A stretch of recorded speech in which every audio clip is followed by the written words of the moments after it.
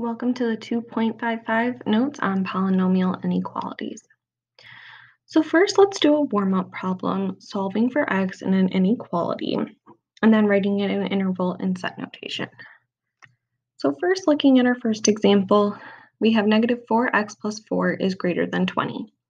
We'll first start by subtracting 4 so that we're left with negative 4x is greater than 16, then dividing by negative 4 when we do this, we're going to flip our sign. So when we multiply or divide by a negative number, we flip our sign.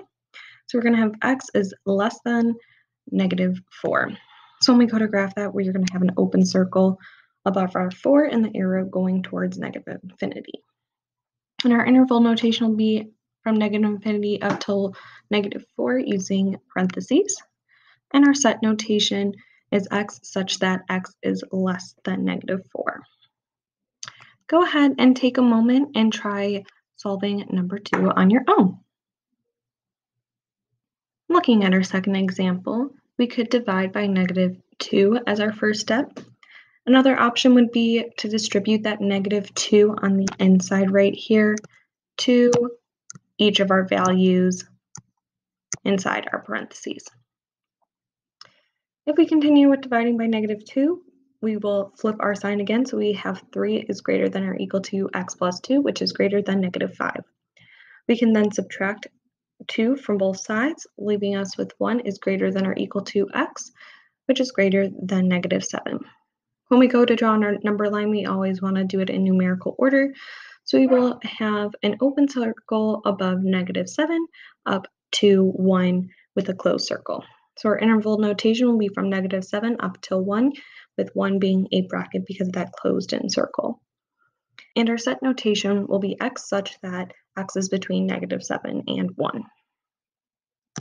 Now that we have recapped how to solve for an inequality, now we can solve polynomial inequalities. So looking at our first example, we have x minus 1 times x plus 3 times x minus 3 is greater than 0. So our first step is we want to solve for our points on our number line. So we can set each of our parts in parentheses equal to 0. So we have x minus 1 equals 0, which will give us x equals 1. x plus 3 equals 0 gives us x equals negative 3. And x minus 3 equals 0 gives us x is equal to 3.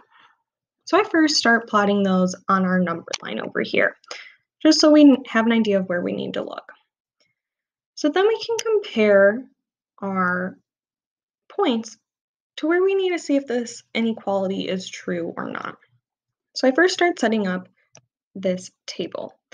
I first do our first line up here, and I put all the points where we want to look at where x is true or not. So I would first start by doing x is less than negative 3 to account for this area. Then I would do x is between negative 3 and 1, which would account for this area. Then another section between 1 and 3 to account for this area.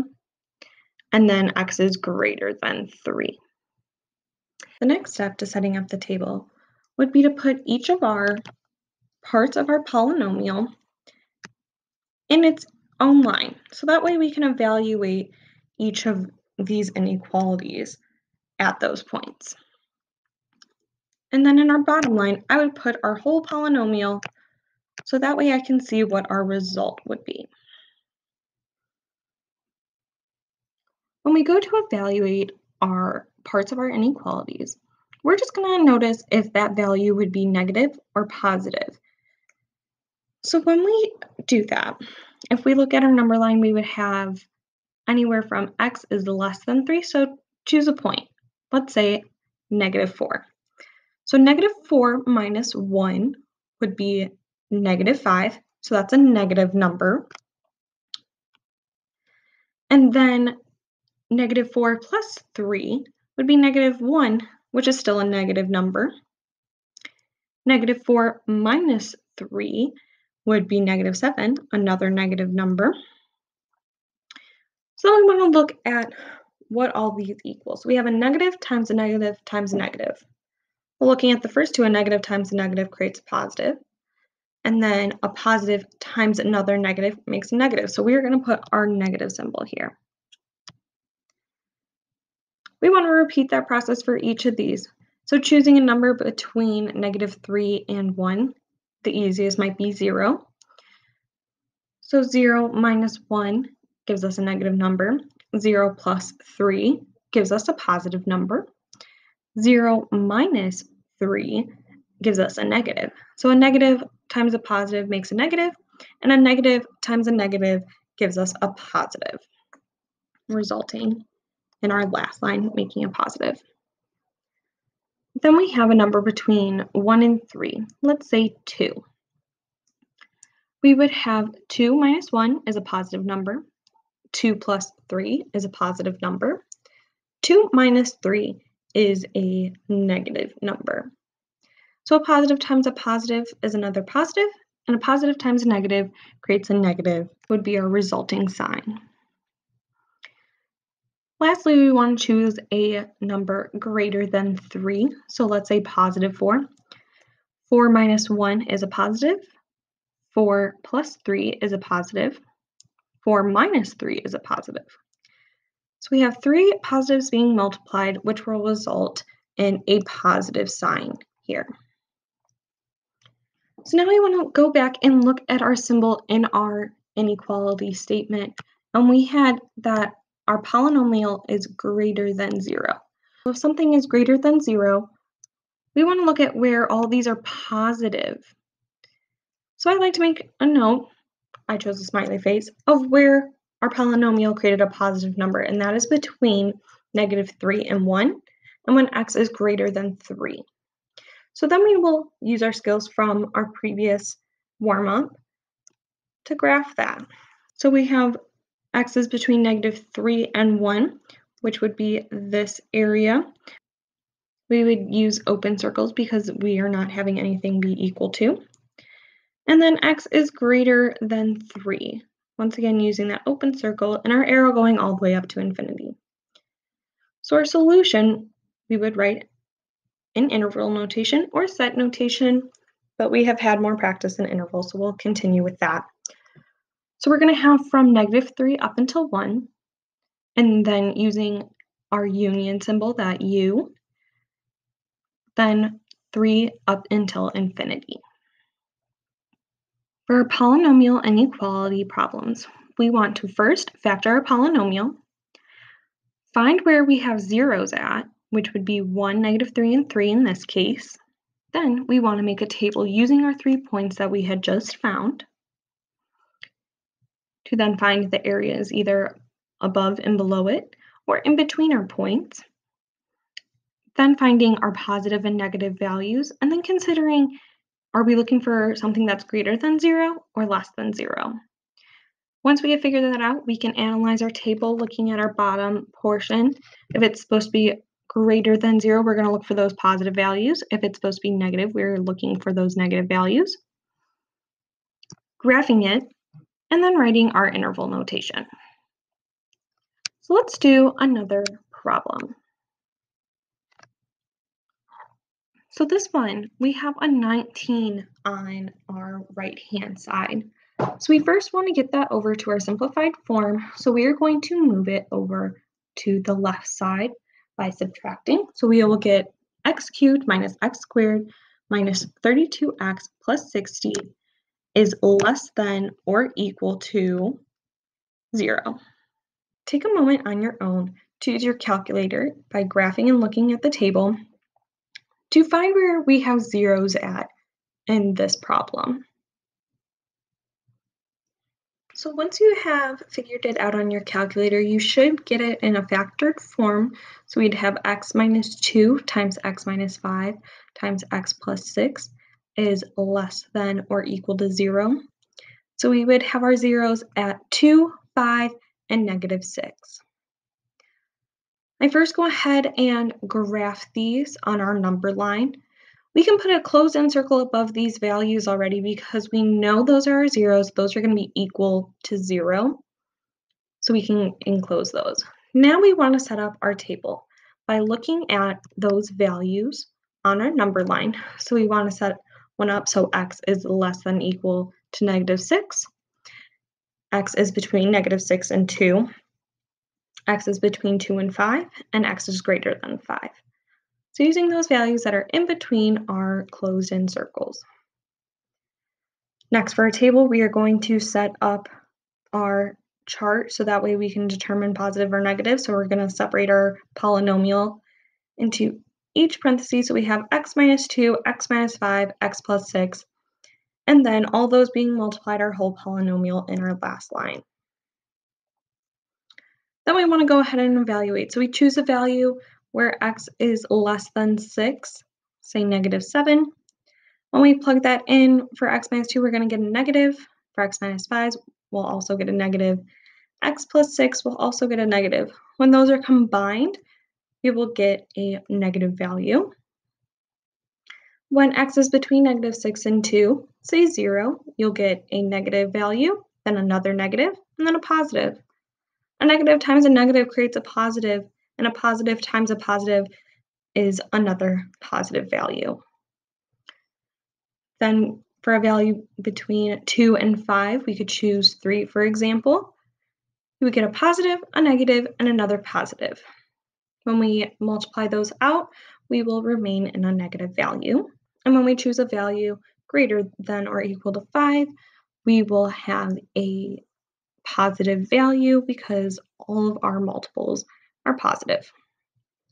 So now we want to compare our last line here to what is being asked in the question.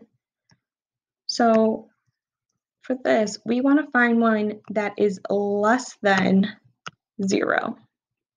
So less than 0 would be a negative number. So it would be when x is less than negative 6 and x is between 2 and 5. So we can go back up to our graph and graph these values. So we have x is less than 6 and x is between 2 and 5. We can then go ahead and write this in interval notation. So we'll have from negative infinity up until negative 6 using a bracket, union from 2 until 5.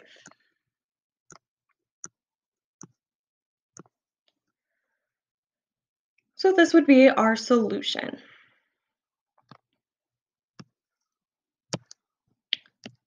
In our last example, if you did not want to graph it, you could use synthetic division for this. So our first step would be doing the rational root test, then go ahead and testing the values. So we find one of our zeros happens at positive 1. We can then use synthetic division using this polynomial now down here. So 15 is still our last value. So we will test those numbers once again, and we will find that negative 3 is a 0. Then lastly, doing the same process using our previous polynomial, we will find that negative 5 is a solution, and our last solution is also going to be negative 1, looking at our last values down here, where we would have 1x plus 1 as our remainder. And then setting those equal to 0, we can plot those on our number line over here. So we would have negative 5, negative 3, negative 1, and 0, all with closed-in circles. Looking at our inequality, we have that equal to symbol, so it'll be closed in circles. We then want to go through and start our table so that x is less than 5 or x is between negative 5 and negative 3, or x is between negative 3 and 1, or x is between negative 3 and negative 1, or x is between negative 3 and positive 1, or x is greater than positive 1. Then separating our polynomial into its factored form, we can then go ahead and evaluate each of those looking for our positive and negative values. After multiplying all of our factors, we will find that our polynomial is greater than 0 when x is less than 5, x is between negative 3 and negative 1, and x is greater than 1. Then going back up to our number line, we can go ahead and graph that. So we would have an arrow going from negative infinity up until negative 5. two solid points connected from negative 3 until negative 1, and from 1 up until infinity. So our interval notation, our solution would be negative infinity up until negative 5 with a bracket, union from negative 3 until negative 1, both with brackets in that case, and union 1 until infinity. And remembering with infinity, we use parentheses because they are such large numbers that we will never reach those. That concludes our notes for this section. There are three practice problems below. The first one going based off our first problem today, our second one looking similar to our second problem, and our third looking more similar to our last problem. One thing to note with these, if we are going to do synthetic division, we need to make sure our values are going from greatest until smallest based on our x exponents. And then making sure we have zero on the right hand side. And remember to set up your table based on your zeros and look where they meet the requirements of greater than or less than zero. Please let us know if you have any questions and have a great day.